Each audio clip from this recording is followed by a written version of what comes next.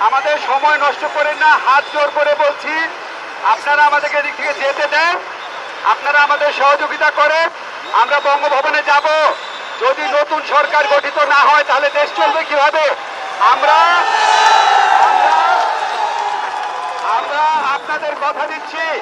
এই দেশের তরুণ ছাত্র জনতার বুকের ভাষা আমরা জানি, তাদের সমস্ত দাবি পূরণ করা হবে।